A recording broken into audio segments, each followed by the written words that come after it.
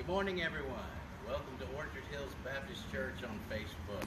I'm Joe Stanley, one of the worship leaders here at Orchard Hills, and I will be preaching this morning about as much as you have, want to be forgiven is how much you forgive others. I'm going to show in Scripture how that is.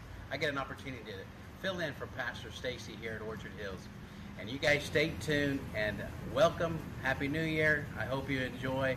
And sit back and let's hear uh, Kim Stanley sing a little bit. That's funny. Oh, it's good to be with home folks that you love us no matter what.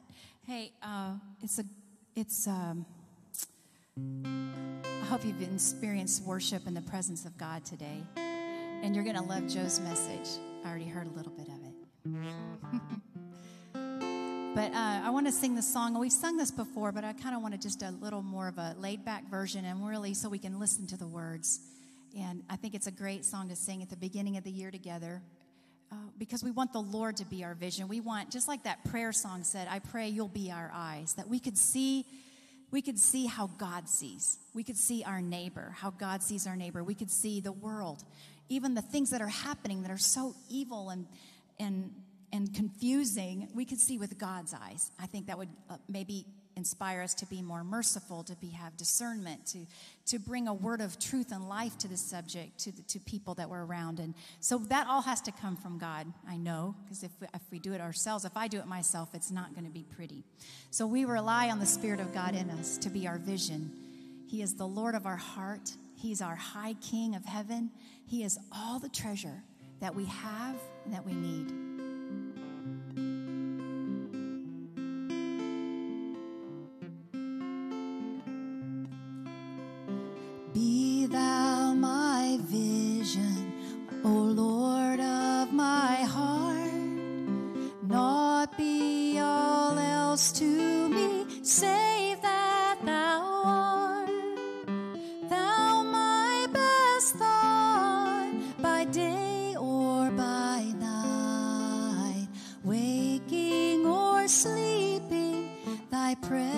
Presence my thou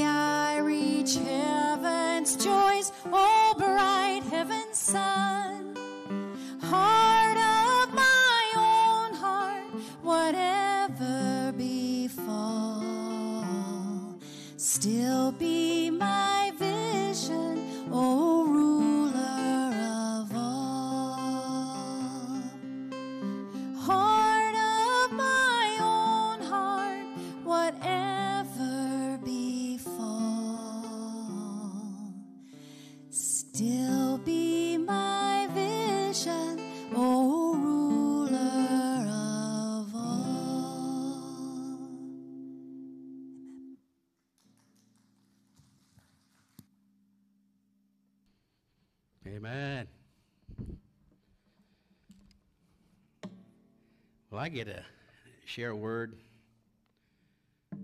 from the Bible today in a special way, and this kind of has meant a lot to Kim and I lately in the last four or five years when we do marriage conferences and when we, when I uh, counsel people before their weddings and that kind of stuff. And I do way too many weddings for not being a pastor, but uh, I coach them, I teach them. You can't say counseling anymore, it seems like, to the younger folks. They think something's wrong with them.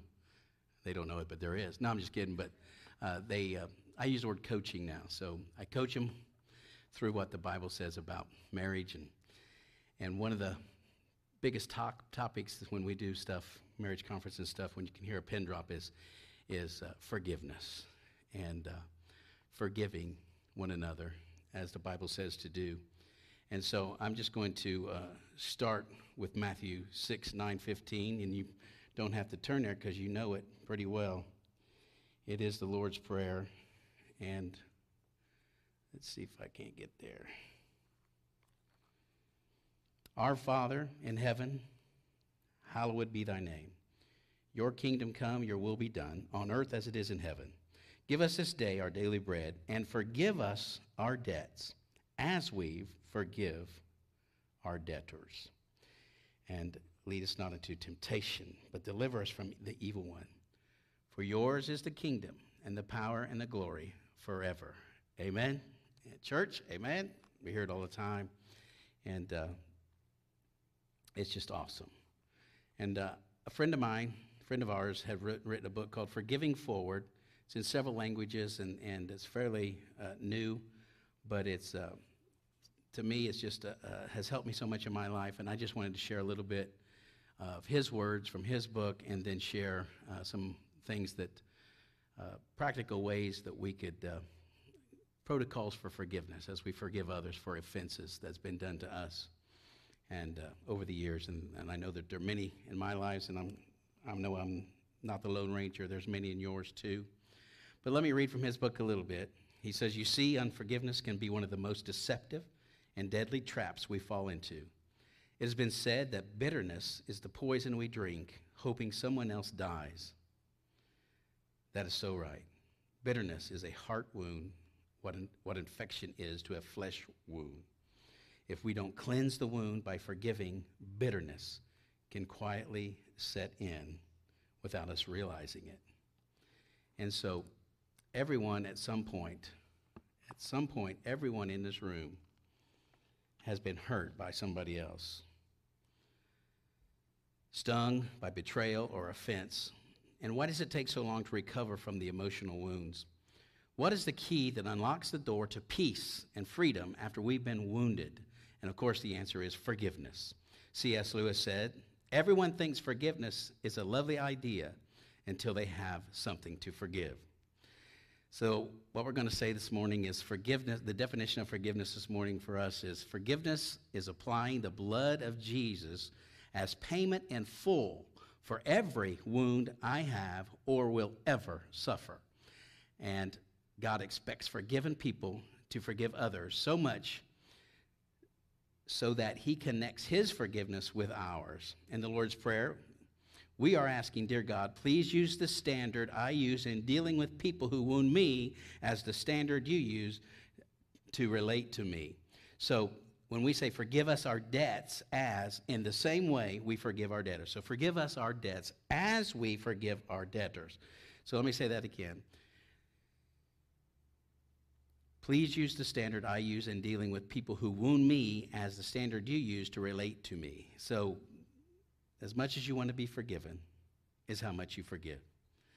So Mark 11, 25 through 26 says, Whenever you stand praying, forgive if you have anything against anyone, so that your Father who is in heaven will also forgive your transgressions. But if you do not forgive, neither will your Father who is in heaven forgive your transgressions. We, we pass over some of that stuff. I, I pass over that stuff. I don't want to hear that. I, I, wanna, I don't want to forgive people sometimes who wound me the offenses. And listen, you, it doesn't mean that if you do not forgive that you don't, you don't make it to heaven. That's not what we're talking about. That's not what this means. People don't go to hell because they haven't been forgiven. They go to hell because they have not repented to receive the benefits of forgiveness.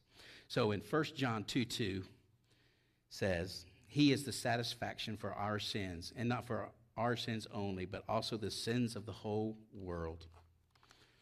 And so we're going to read again in Matthew 18, 21 through 35. You may know it as the parable of the unforgiving servant. And I'm going to read it out of my Bible, and then I'm going to uh, read a little bit from his book, uh, how he kind of explains it to us. Then Peter came to him and said, This is uh, Matthew 18 21. Then Peter said to him, Lord, how often shall my brother sin against me and I forgive him? And he said, Up to seven times. Uh, Jesus said to him, I, I do not say to you up to seven times, but up to 70 times seven. Therefore, the kingdom of heaven is like a certain king who wanted to settle accounts with his servants. And we had, when he had begun to settle accounts, one was brought to him who owed him 10,000 talents. But as he was not able to pay, his master's his master commanded that he be sold with his wife and children and all that he had, and the payment be made. The servant therefore fell down before him, saying, Master, have patience with me. Give me some time, and I will pay you all. Then the master of the servant was moved with compassion, released him, and forgave him the debt. But the servant went out and found one of his fellow servants who owed him a hundred denarii. And he laid hands on him and took him by the throat, saying, Pay me what you owe.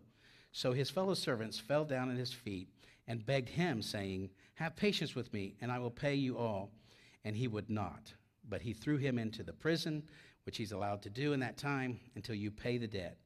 So when his fellow servants, the people around him, saw what he had done, they were very grieved, and came and told their master all that he had done. Then the master had called him back in to him and said him, You wicked servant, I forgave you all the debt because you begged me. Should you not also have compassion on your fellow servant, just as I had pity on you? And his master was angry and delivered him to the torturers. And his master was angry and delivered him to the torturers until he should pay all that was due him. And then Jesus says in the red letters, So my heavenly Father also will do to each of you from his heart who does not forgive his brother his trespasses. And his master was angry and delivered him to the torturers until he should pay all was due to him. Then Jesus says, So my heavenly Father also will do to you if each of you from his heart does not forgive his brother his trans- trespasses. that's, that's, that's different. That's scary when you read it like that. It's just unbelievable. Unforgiveness brings torment. That's what we want to talk a little bit about that as Jesus does leave that parable.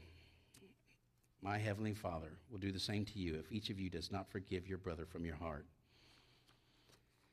God withholds his protection when we don't forgive. He unleashes his protection when we do. God gives legal authority for demonic forces to torment us when we don't forgive. Oh, a lot of people just say, wait a second, that, that's not right. Jesus, this is Jesus' parable when we, we are tormented not because we have been wounded, but because we haven't forgiven the wound, the offense. 70 times 7. We are tormented not because we have been, wo- we have been wounded, but because we haven't forgiven the wound. And uh, some examples of torment in my life, and maybe yours and some other people that I've talked to, is depression, uh, torment of anxiety, fear, nightmares, anger issues, outburst of anger, anger, control issues, addictions, both drugs, alcohol, and sex, food disorders, and some physical issues is all could be a part, a part of unforgiveness and the torment that Jesus is talking about. Why does God discipline unforgiveness more harshly than any other sin? Forgiveness is at the core of the gospel. It's why he came. Luke 24, 46, 47. And he said to them, Thus it is written, that the Christ would suffer and rise again from the dead the third day, so that repentance for forgiveness of sins would be proclaimed in his name to all the nations, beginning from Jerusalem. Jesus came to this planet, lived perfectly, stretched out his arms, and said, It is finished. What is finished? The payment for the sin debt of the whole world. The blood of Jesus covers all sins, including the ones committed against you and me, no matter what they were. So remember the definition of forgiveness we talked about. Forgiveness is applying the blood of Jesus as payment in full for every wound I will ever suffer. So I wanted to go back to his book here, if you allow me to do that. It. Uh,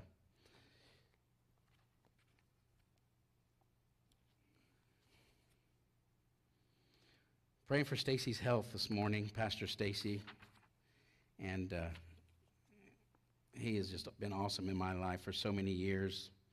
When I was a kid, I was in my 20s, and I would uh, listen to the. Uh, I was just I just had come to know the Lord Jesus, and I was listening to the radio. They said listen to Christian radio, so I'd listen to Charles Stanley on the radio, and then uh, James Dobson because I had young young children, and then. Uh, this other guy came on and did a message, and I, I man, I was just connected to this guy for years, and it was Stacy, Pastor Stacy was on the radio, and I didn't even know it. And then eventually, um, his brother uh, invited me to lead worship for his business on Fridays, and I met Stacy for the first time, and he looked at me and said, "You're gonna be my worship leader one day." And I said, "When donkeys fly, I'm not gonna be your worship leader." And then, sure enough, I, I became his worship leader, and and uh, and this church was built uh, upon the rock of Jesus, and we. Uh, and he has used God has used you, Stacy, if you're listening in my life, in an unbelievable way all these years. Let me, let me share. A wealthy ruler decided to settle the accounts with those who owed him money. One servant owed him 10,000 talents. That was an astronomical amount of money. And Jesus is telling this parable so. The servant did not have the ability to repay the debt, so the ruler ordered the man and his family thrown in jail.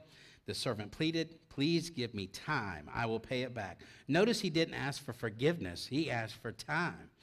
The ruler's heart was moved with compassion, and he forgave the man's debt. Just like that, the ruler personally absorbed the entire amount. And let's work through the currency in Jesus' day. A talent equal to 60 one mina was the equivalent of three months' wages. This means a talent was worth 180 months or 15 years' wages. 10,000 talents would then equal 150,000 years worth of wages. And he says, Please, please give me time. There's no way. He couldn't pay that back. Let's just say the median annual income in the U.S. is around $50,000. At that figure, 10,000 talents would be roughly equal to 7 point billion dollars today. That's billions with a B and you go, that's crazy. And I said, well, this is Jesus saying this. When the ruler forgave the debt, his net worth dropped $7.5 billion, and his servants rose one $7.5 billion. What a gift.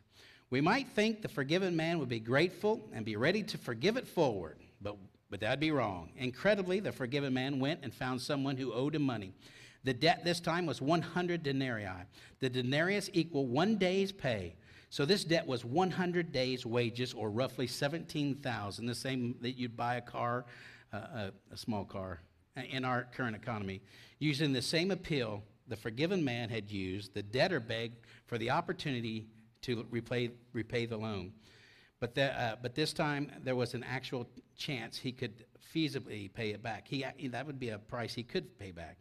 His debt was comparable to that car loan. So paying it off might take a few years, but it's doable.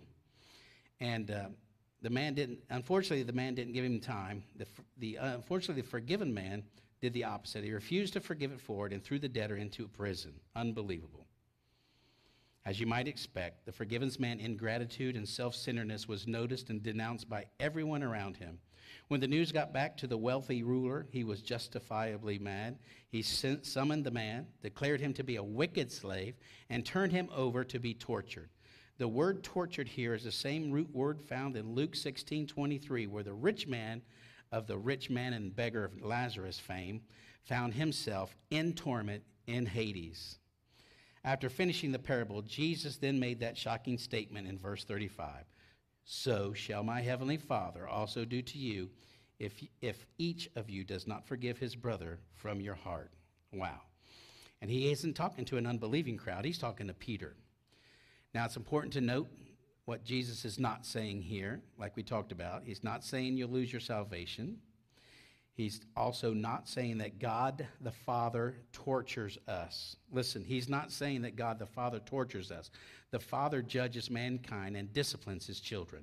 The ruler in the parable did not torture the servant, but turned him over to the tormentors who did. The Father simply withholds his protection from us and gives the enemy and his henchmen the legal authority to do the tormenting. Make no mistake, unforgiveness opens the door to a pretty miserable existence. Unforgiveness towards the wounds committed against you won't change your eternal, eternal destiny, but Jesus makes it very clear that it will affect how you live here on earth. Torment, yes, but still, you're the Father's son, and He loves you. Forgiveness doesn't say what they did is okay. When you forgive someone, it doesn't mean that uh, it was okay. And, uh, but Jesus did pay for that sin. Forgiveness is not a choice, it's a process. We forgive wounds, not people. We forgive people for what they did. We forgive intentional and unintentional wounds. Sometimes we need to forgive unmet expectations. Sometimes we need to forgive ourselves or God. I've been there, I've done both of those. Forgiveness and reconciliation are not the same thing, but it can happen.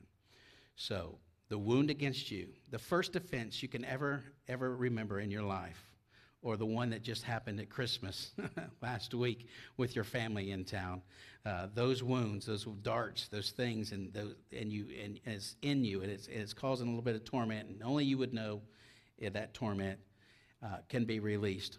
And when it is, it doesn't mean it was okay, the offense, and it doesn't mean you'll ever be reconciled back to that person.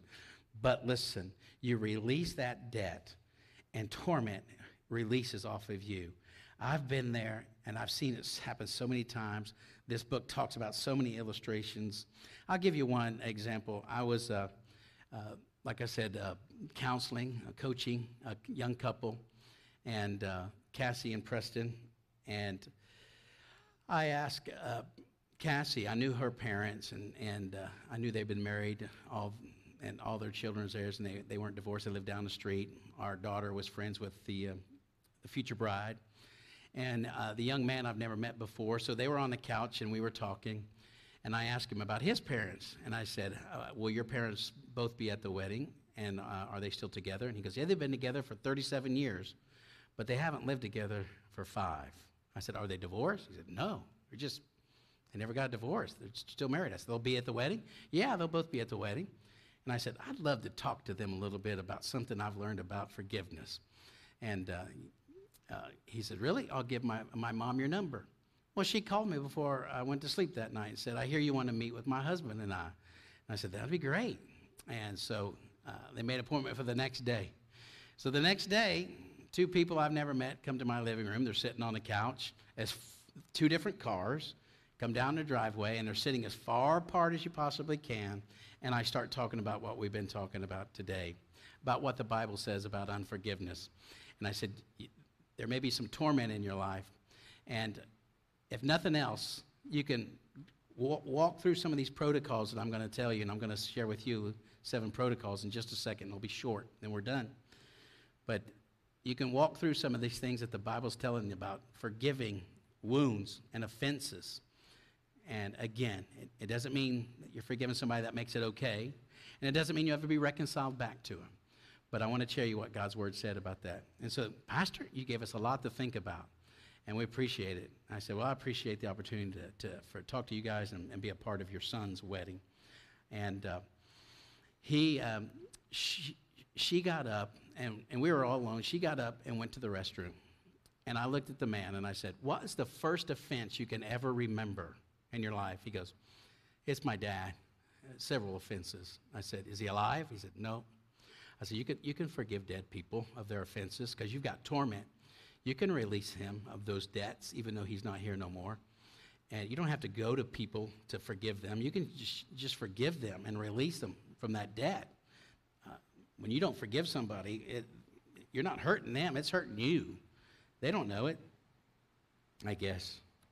And so he goes, he gave me some stuff to think about. Well, she came out of the restroom, sat back down. Then he got up, went to the restroom. I looked right at her and said, What happened five years ago? What offense happened in your guys' life that caused that separation? She goes, Well, he's an angry man. And uh, finally, five years ago, he threw something. It hit a mirror, shattered it, and a piece of glass cut my arm. I said, Nope, that's it. No more. And I said, Well, that's what we're talking about. You can release him from that debt the offense of that particular offense, not every offense he's ever done in anger, but that particular offense, you don't just throw a blanket over everything your husband's ever did to you in 35 years, but that one offense, release it, give it back to God, and give God that debt. And uh, she said, Pastor, you gave me a lot to think about. Thank you for sharing today. And so it was awesome. They uh, went up the driveway. We lived down a little gully there. Jack knows he'd been down there. And so he uh, goes up that, they go up, and I'm right behind him, going to go check my mailbox. Two different cars, and he's about to get in his truck, and she's about to get in her car, and she goes, You had lunch yet? No. Want to go to lunch? Okay. So they went to lunch together. I said, Hey, we got to start. So the wedding, about four or five weeks later, I don't know how many weeks later, I'm dancing with my daughter on a dance floor. She's one of the bridesmaids, and and I see something strange out the corner of my eye while I'm dancing. So I dance, start dancing a little bit closer, and, and it's the uh, parents, and they're dancing together. The same people that were on my couch. So I stop and I tap them on the shoulder. I said, "Get a room," and they both stopped dancing. They hugged me. Ah, I still remember that hug. They just squeezed me, both of them. Said, "Pastor, we're working on what you said, what the Bible said," and. Uh, so that's been a few years. And uh, every once in a while, they live, uh, her parents, of course, live down the street, like I said, and I'll stop when they're there and I said, How's the parents doing? Said, Went on a cruise together. And then I go by and say, How's your parents? They went camping together. Well, it doesn't always happen, but sometimes when you forgive an offense and that person's still alive, it didn't make it okay what they did. And it doesn't mean you'll ever be reconciled, but something happens in the supernatural, you know? Because God is God and He is who He is. And when you re- release somebody from that forgiveness, just the opposite comes. That torment comes off. And, and something happens in the supernatural sometimes. And you might, just might be reconciled back. And that's an awesome thing. One more thing. And um, Forgiving Forward book from Bruce and Toni Hebel they give us seven protocols, and I wanted to share them with you, and they're really quick. So listen. Number one, thank God for forgiving you. So when you're ready to forgive somebody for an offense, my first time I ever did this, I was at Kentucky Fried Chicken with the man who wrote this book, and I started getting angry and about something I said. He goes, "You got you got torment on you. What? You're tormented by unforgiveness. You need to here, take this piece of paper and pen and write down everything that you're thinking right now. And so I, I did. I wrote down everything I was thinking. And it was some men in my life that I felt like was uh, taking advantage of me over the years and, and, and certain areas in certain ways. And I won't go into it. And, and uh, so I forgave him. He, he said, I'm going to go to the bathroom. I said, This is awkward. Kentucky, smelling Kentucky Fried Chicken, writing down everybody I need to forgive. And so I started doing it. And and then he came back and he said, let's do this. And these the, we did these seven protocols. And I released each and every one of them of their offenses, that one offense. And when I got back home, God is my witness. When I got back to my home from Kentucky Fried Chicken, I got underneath the, the uh, underneath the welcome out, and there was something sticking out, and it was a, a check from one of the guys I've forgiven. And I, I said, something just happened in the supernatural. Unbelievable. So, number one, thank God for forgiving you. Two, ask God, who do I need to forgive and for what? Number three, repent of your sin of unforgiveness. So, we, we want to make sure God knows that we have, uh, we've had unforgiveness in our heart and forgive us for that. And then, number four, forgive each offense from your heart. This is individually now, not that blanket. And it might take some time for some of us in some areas, but sometimes it can be quick. And so forgive each offense from your heart and say, Lord, I choose to forgive Kim from my heart for whatever I have this offense. And then the next thing is, Lord, is there anything else I need to forgive Kim for? And then the next thing is, I declare Kim is no longer in my debt. And that's it. Ask God to bless them and then look for ways to bless them when possible.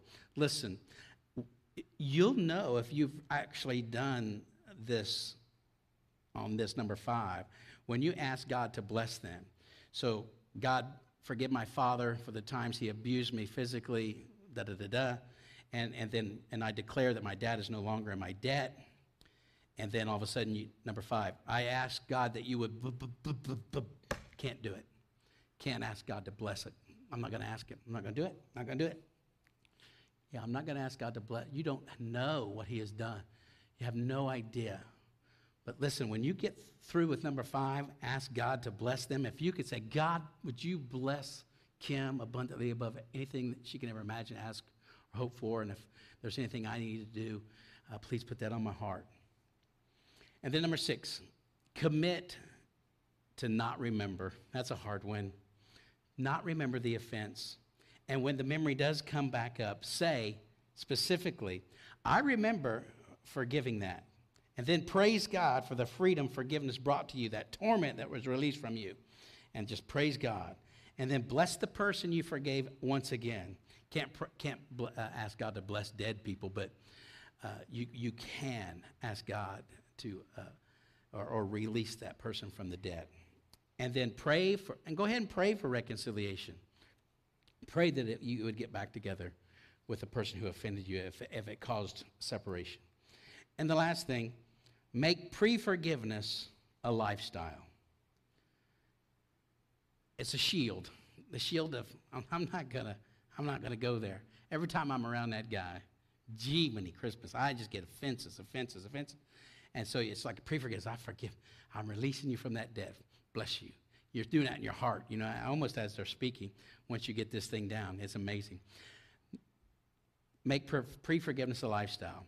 So, Kim and I, uh, so in the morning, I wake up, tap Kim on the shoulder, and say, Forgive me for the offenses that I'm gonna. No, no. Here's a, here's. I tap her on the shoulder and say, Kim, I for, I forgive you for any offense you're gonna give to me today. And then I say, and Lord, Kim, would you forgive? I know for sure I'm gonna offend you several times. Please forgive me for my daily offenses. I know it. It's kind of a funny thing, but it, it it's kind of gives you an example that you do have a pre-forgiveness and your spouse is uh, is is is in that. And it doesn't make it right. Doesn't make it okay but it will release torment, the same torment that Jesus talks about, the, the tormentors, the torture. And uh, so we've seen several people released and free, even in their bodies, hunched over. We see stand up, released. Some people throw up. Crazy, and but real. So, if you'd stand with me, I would like to go over these seven. So, let's all stand up. And if you're watching by Facebook, do this in your heart. There may be one person, one offense that is kind of huge in your heart. It might be something a long time ago, or it might just be last week at Christmas when your family was in town and the disagreements from maybe it was political or, or, or, or about COVID. I don't know. But we need, don't experience any more torment because the Bible says you can be set free. He died for you on the cross. His blood cleanses us, and we can release those debts and forgive people. As much as you want to be forgiven is how much you'll forgive. The Bible was clear on that in several passages. As much as you want to be forgiven is how much you'll forgive. And you'll be released from torment. So let's, let's pray these seven protocols together. And, and if you have somebody in mind, just say that in your heart. Thank you, God for forgiving you. Ask God, who do I need to forgive and for what? Repent of your sin of unforgiveness. And now forgive the offense that's in your mind right now from your heart and say this Lord, I choose to forgive blank from my heart for, and name the one offense. Lord, is there anything else I need to forgive blank for? I declare blank is no longer in my debt.